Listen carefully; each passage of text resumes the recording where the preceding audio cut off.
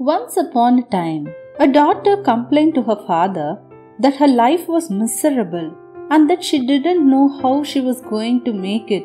She was tired of fighting and struggling all the time. It seemed just as one problem was solved, another one soon followed.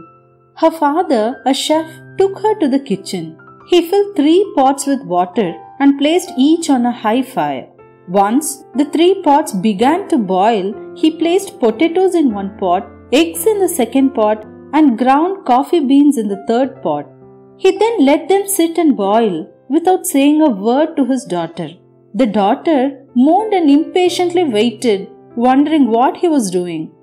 After nearly 20 minutes, he turned off the burners. He took the potatoes out of the pot and placed them in a bowl. He pulled the eggs out and placed them in a bowl he then ladled the coffee out and placed it in a cup.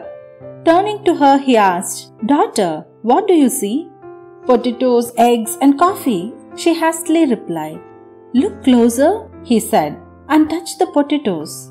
She did and noted that they were soft. He then asked her to take an egg and break it. After pulling off the shell, she observed the hard boiled egg. Finally, he asked her to sip the coffee. Its rich aroma brought a smile to her face. Father, what does this mean? she asked. He then explained that the potatoes, the eggs, and coffee beans had each faced the same adversity, the boiling water. However, each one reacted differently. The potato went in, strong, hard, and unrelenting, but in boiling water it became soft and weak.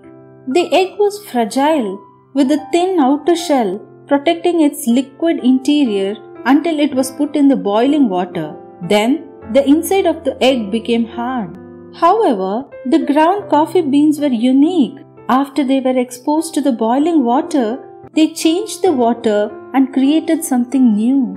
Which are you? He asked his daughter. When adversity knocks on your door, how do you respond? Are you a potato, an egg, or a coffee bean? The moral in the story is in life, things happen around us, things happen to us. But the only thing that truly matters is what happens within us. Which one are you?